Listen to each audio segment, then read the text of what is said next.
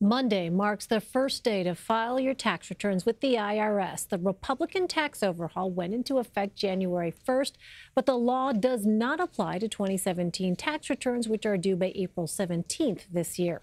A recent article for Business Insider breaks down what you can expect this tax season.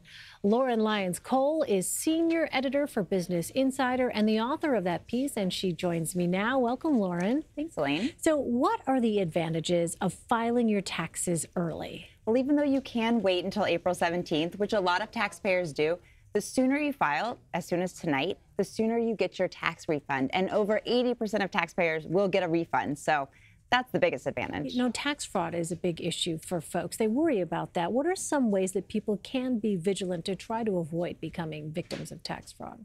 Filing early is one of the best ways to prevent yourself from having someone else steal your tax refund. So certainly the sooner you file, the safer you'll be. And the IRS actually has really good, clear guidelines of what to do if you suspect that your identity has been stolen. So you can always head to their website for advice. Well, how does the IRS recommend people file their taxes and what services are available for submitting returns? So this might be surprising, but the IRS recommends that you e file your taxes and choose direct deposit for your refund. They say that is the simplest, safest, the most secure way to receive your refund. And what about if people are looking to file their taxes for free? Where can they turn? Lots of different places. If you made $66,000 or less in 2017, you should be able to find a service. Again, the IRS has a really helpful website where you can look up the different free file options. They also have an app very high tech. IRS wow. to go. You can download it. Do. Of yeah. course they do. Yeah. so um, and actually, it's it's a very helpful resource. IRS to go. Okay, yeah. I'll remember that.